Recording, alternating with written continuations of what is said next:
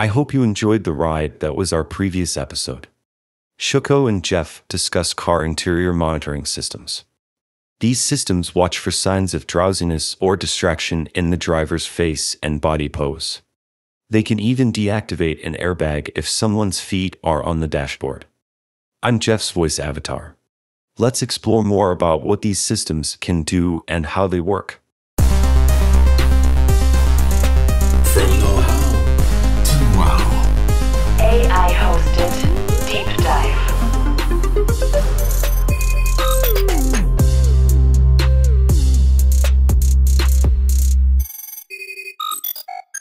A camera that monitors the interior of a vehicle has a significant disadvantage. The cabin can often be dark, especially at night. In contrast, exterior cameras can still capture images, benefiting from the illumination provided by the car's headlights. However, the interior is usually much darker at night. That's why the driver monitoring camera isn't just a regular camera. Let me introduce you to Bosch product manager Tyler Warga. Our camera is an infrared camera. And the reason we do that is to help support the different varying conditions that can come in the cabin. So using the infrared and then plus the LEDs that are integrated into the camera, we can get better reflections to better see the driver in variable conditions. Infrared allows it to see through certain obstructions, like sunglasses. So, despite a driver wearing sunglasses, the camera and its algorithms can still detect signs of drowsiness in their eyes. The second camera is the occupant monitoring camera. This one is a color camera. It's excellent for object detection. From our previous episode, we learned that the system can detect when the driver is holding a phone to their face. But what if it's not a phone, but a granola bar? This is where we leverage a lot of the machine learning for the object detection is that we can understand these different types of behaviors associated with people for eating, drinking, phone calls, smoking, these different things, and then correlate that with the likely behavior to improve the system robustness and then uh, improve the overall signal or alert that would be provided. Object recognition doesn't stop there.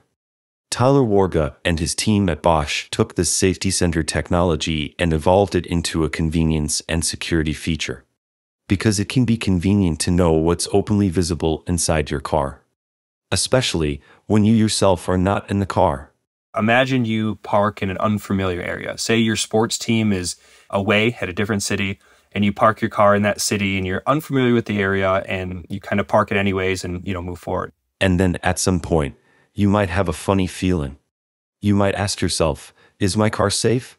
You are at the game and then you think to yourself, did I leave my laptop inside, you know, my vehicle? Did I leave my bag in my front seat? And so from there, you can actually go in the application. And since in the background, the object detection algorithm was running in the cloud, you can go back and actually look at the vehicle interior and it actually will recognize the object if it was left in your vehicle. So you can confirm, oh, I did leave my bag in my front seat or oh, I did leave my laptop wherever it may be, and then, you know, correct it accordingly. This feature gets even more powerful thanks to the third sensor in the system the radar sensor. If you imagine the radar being positioned, let's say by the overhead console, right where your dome lights are, It complements the two cameras in monitoring the car's interior, but it can also monitor the car's exterior. we collaborated with AWS on a feature to enhance vehicle security, leveraging different sensors in the vehicle. So in this case, actually the radar and camera, both interior and exterior camera as well too. It's a feature that is common in electric vehicles today. But Tyler and his team made it much better. I'm talking about detecting when someone gets near the car, maybe tries to break in. That's done using different sensors, such as exterior cameras or ultrasonic. A lot of the security systems today leverage the exterior cameras, which are very power hungry, if you will. And so they will take up to 15% actually of the overall vehicle capacity. And what that means is less range for that person to get back home. Instead of relying solely on cameras, the new system utilizes the radar sensor. This approach significantly reduces power consumption. And so in the case of the radar, it actually uses less than one watt in low power mode to actually do a similar detection to what the cameras are doing. So we can actually get a vehicle proximity, you know, surrounding the vehicle cabin, and then have that trigger and activate the cameras to help wake up the cameras as opposed to running them for the actual detection, which helps reduce overall power consumption.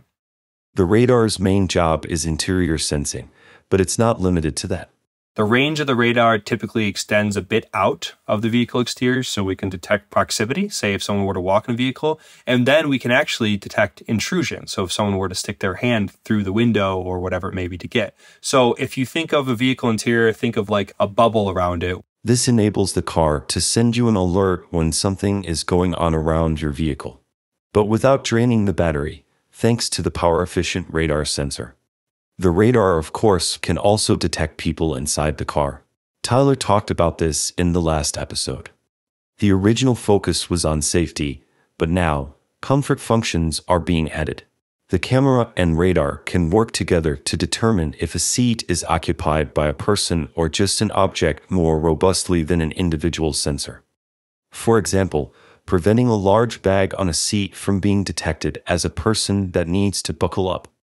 So if you have someone detected by the radar, by their respiration rate, but also the camera um, by detection of you know the body pose and uh, so forth inside that seat, you have two signals confirming someone is sitting in that seat. These signals combined may even be more reliable than a seat's weight sensor. So from this point of view, you can actually likely achieve a high uh, functional safety level to then maybe replace other sensors in the vehicle. So to maybe make the camera and radar a little bit more cost neutral in that sense. Building sensors into the seat along with the necessary wiring and computation system could become obsolete. On the other hand, cameras have one disadvantage privacy. Privacy is always an important consideration when people are monitored by an electronic system. We don't want to invade people's privacy by thinking there's a camera watching them at all times, right? So the team have designed them with privacy in mind. All safety features are handled locally with no need for cloud connection or data transfer. Moreover, the images are replaced by abstract models when analyzing a passenger's body pose. The system uses a kind of stick figure model of the passenger. What we're actually doing is uh, if you consider someone's body, and let's consider different points on the body. So let's say mouth, eyes, uh, nose, also positions like of your arm. So let's say elbow, wrist, and so forth. There's these points that are essentially created on someone's figure when the camera's looking at it. From here, that's all we're leveraging to determine these different features like drowsiness, distraction, and so forth, is basically a point cloud on someone's body. Meanwhile, the actual image gets discarded early on in the process and is not stored anywhere. All these features Tyler mentioned are just the beginning. New regulations and consumer testing requirements are making interior camera systems more common in new vehicles. This will lead to more innovations by the engineers surrounding Tyler. And now that they're becoming more available because of different regulations in different regions and also, you know, different advantages for having them coupled with automated driving systems, is we're trying to explore more features that can be unlocked. More innovations are on the way, making cars safer and simultaneously adding a bunch of comfort functions. That's it for this deep dive episode. I hope you learned something. Talk to you next month. From know-how to wow. AI hosted Deep Dive.